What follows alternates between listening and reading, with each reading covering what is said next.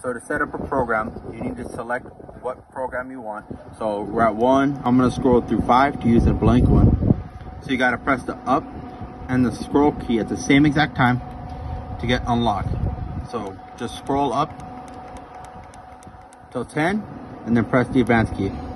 So from here you can you can set your temperature. So if you want 200, let's say you want 200, you can scroll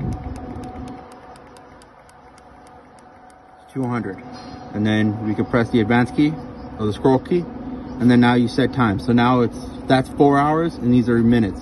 So if you want four hours and 10 minutes, let's say, now you have four hours and 10. So you press the advance key.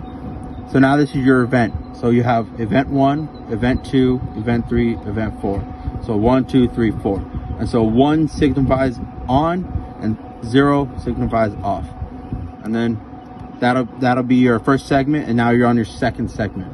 So you just can keep scrolling through for how many segments you need. And then to get out of here, you just press the mode until it says exit and then you press the advanced key.